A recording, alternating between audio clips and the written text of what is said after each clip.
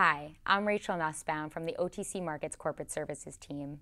I'm here today with Michael Gilfeather, CEO of Orange Bank and Trust, which trades on our OTCQX Best Market under symbol OCBI. Welcome, Michael. Glad to be here. So, Orange Bank and Trust was founded over 125 years ago.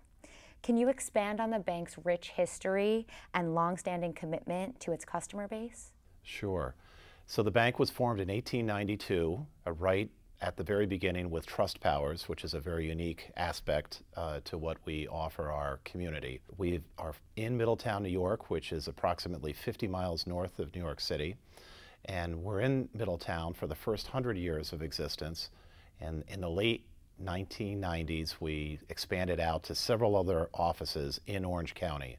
In 2015, we moved down to Westchester and Rockland counties, and that has been a part of a very big expansion. So, what differentiates Orange Bank and Trust from its competitors in the community bank space? So, we're very focused on business banking. We have for our long history, but very specifically now, we are trying to expand our uh, business banking. Uh, that involves all aspects deposits, loans, and actually wealth management for the business owners that we have through our trust activities. Orange Bank and Trust has been trading on OTCQX for a little while now. How has trading on OTCQX and in the U.S. public markets been beneficial among your shareholder base? Well, we're very positive in the year or so that we've been on. Our volume has increased 100%, and we hope to continue that into the future. We do too.